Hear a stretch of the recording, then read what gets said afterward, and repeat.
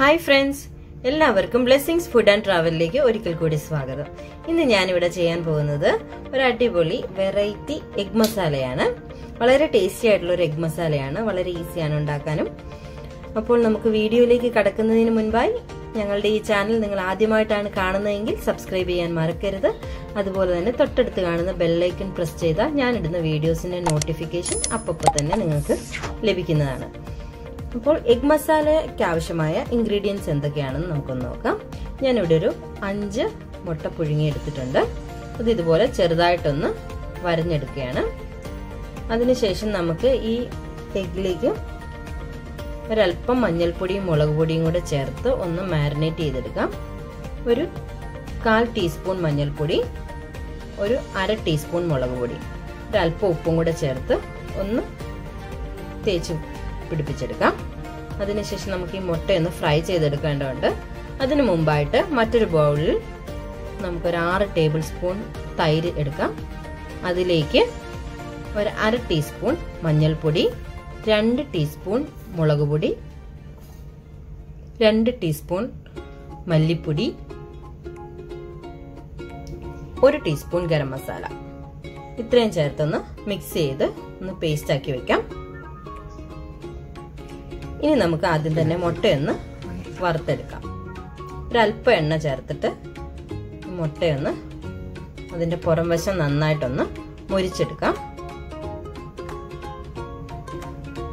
ഇങ്ങനെ ചെയ്യുമ്പോൾ മുട്ടയ്ക്ക് ഒരു പ്രത്യേക ടേസ്റ്റ് ആകട്ടോ ഏകദേശം ഒരു രണ്ട് മൂന്ന് മിനിറ്റ് ഒന്ന് ഫ്രൈ ചെയ്തതിന് ശേഷം നമുക്ക് എണ്ണയിൽ നിന്ന് കോരിയെടുക്കാം.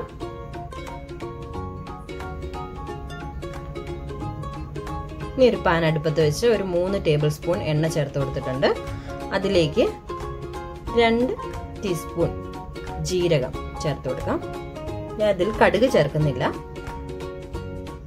ജീരകം ഒന്ന് പൊട്ടി വരുമ്പോൾ അതിലേക്ക് നമുക്ക് ഒരു നാല് പച്ചമുളക് ചെറുതായിട്ട് അരിഞ്ഞത് ചേർത്ത് കൊടുക്കാം എരിവിനനുസരിച്ച് പച്ചമുളകിൽ മാറ്റം വരുത്താം നിങ്ങൾക്ക്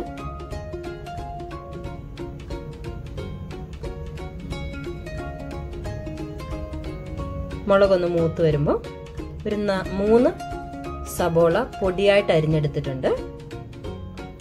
അതും കൂടി ചേർത്ത് നമുക്ക് നന്നായി ഒന്ന് വഴറ്റിയെടുക്കാം. അല്പം ഉപ്പ് ചേർത്ത് കൊടുക്കാം.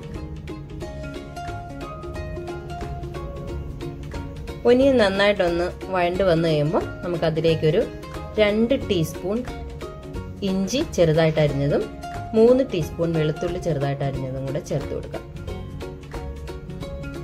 ഇതിന്റെ പച്ചമണം മാറുന്നിടം വരെ നമുക്കൊന്ന് വഴറ്റിയെടുക്കാം.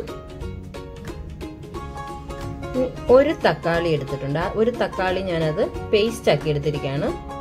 മിക്സിയുടെ ജാറിലൊന്ന് അടിച്ചെടുത്തിരിക്കുന്നതാണ്. തക്കാളി നന്നായിട്ടൊന്ന് വേവിച്ചെടുക്കാം. ഒരു രണ്ട് മൂന്ന് മിനിറ്റ് ഒന്ന് ഇളക്കി കൊടുക്കുമ്പോഴത്തേനും തക്കാളി നന്നായി വെന്ത് വരും. അതിലേക്ക് ഒരല്പം കറിവേപ്പില കൂടി ചേർത്ത് കൊടുക്കാം. എണ്ണ നന്നായിട്ട് തെളിഞ്ഞു വരുന്ന ആ സമയത്ത് നമ്മൾ ആദ്യം ഉണ്ടാക്കി വെച്ചിരിക്കുന്ന ആ തൈരിന്റെ പേസ്റ്റ് ചേർത്ത് കൊടുക്കാം.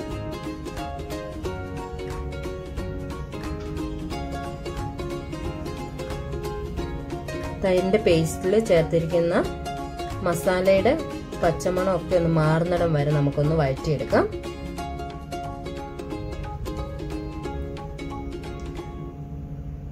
ഒരു രണ്ട് മൂന്ന് മിനിറ്റ് ഒന്ന് വഴറ്റുമ്പോഴത്തേക്കിന് എണ്ണയൊക്കെ നന്നായി തെളിഞ്ഞു വരും. ആ സമയം നമുക്ക് മസാലയൊക്കെ നന്നായിട്ട് മൂത്തിട്ടുണ്ടെന്ന് മനസ്സിലാവും. അപ്പോൾ എണ്ണയൊക്കെ ഏകദേശം തെളിഞ്ഞു വന്നിട്ടുണ്ട്. അതിലേക്കൊരു ത്രീ ഹൺഡ്രഡ് എം എൽ വെള്ളം ചേർത്ത് കൊടുക്കുകയാണ്. മുട്ടയ്ക്ക് ആവശ്യമായ ഗ്രേവി ആണ് വെള്ളം ചേർത്തതിന് ശേഷം നമുക്ക് നന്നായിട്ട് ഒന്ന് തിളപ്പിച്ചെടുക്കണം. നമുക്ക് നന്നായിട്ട് മിക്സ് ചെയ്തതിന് ശേഷം ഒന്ന് അടച്ചു വെച്ച് ഒരു അഞ്ച് മിനിറ്റ് തിളപ്പിക്കാം. ഇപ്പം നമ്മുടെ എണ്ണയൊക്കെ നന്നായി തെളിച്ച് വന്നിട്ടുണ്ട്. നമ്മുടെ ഗ്രേവി നിന്ന് ഏകദേശം റെഡി ആയിട്ടുണ്ട്. സമയം നമുക്ക് ഇതിന്റെ ഉപ്പൊക്കെ ഒന്ന് നോക്കണം. ഇപ്പം അല്പം ഉപ്പ് കുറവാണ്. നമുക്കൊരു അല്പം ഉപ്പും കൂടെ ചേർത്ത് കൊടുക്കാം. അല്പം ഉപ്പും കൂടെ ചേർത്ത് ഗ്രേവി നന്നായിട്ട് മിക്സ് ചെയ്തിട്ടുണ്ട്. ഇനി ഇതിലേക്ക് ഒരു ഇൻഗ്രീഡിയന്റും കൂടെ ആവശ്യമുണ്ട്. ഒരല്പം കസൂരി മേത്തിയും കൂടെ നമുക്ക് ചേർത്ത് കൊടുക്കാം. അതൊന്ന് ഒരു പാനിലിട്ടൊന്ന് ഡ്രൈ റോസ്റ്റ് ചെയ്തിട്ട് വേണം പൊടിച്ച് ചേർക്കാൻ. ഏകദേശം ഒരു ഒരു ടീസ്പൂൺ കസൂരി മേത്തിയാണ് ചേർത്തിരിക്കുന്നത്. ഗ്രേവി ഒന്ന് നന്നായി തിളക്കട്ടെ. ഇതിലേക്ക് നമുക്ക് എടുത്തു വെച്ചിരിക്കുന്ന മുട്ട ചേർത്ത് കൊടുക്കാം.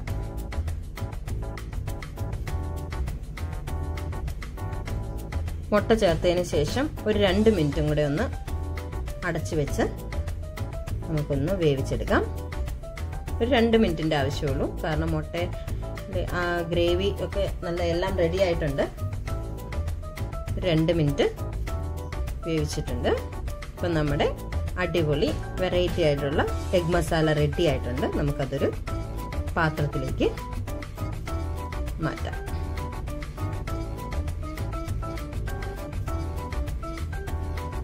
ഈ എഗ് മസാല അപ്പത്തിന്റെ കൂടെ ചപ്പാത്തിയുടെ കൂടെയോ ചോറിന്റെ കൂടെയോ ഒക്കെ വളരെ ടേസ്റ്റി ആയിട്ടുള്ള ഒരു എഗ് മസാലയാണ് ഞങ്ങളുടെ ഈ വീഡിയോ നിങ്ങൾക്ക് ഇഷ്ടമായെങ്കിൽ ചെയ്തു നോക്കണം.